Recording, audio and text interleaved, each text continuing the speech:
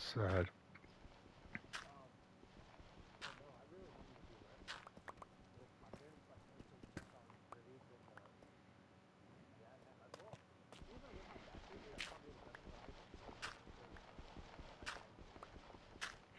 Chase's player icon just randomly showed up on my fucking map like a jump scare. I'm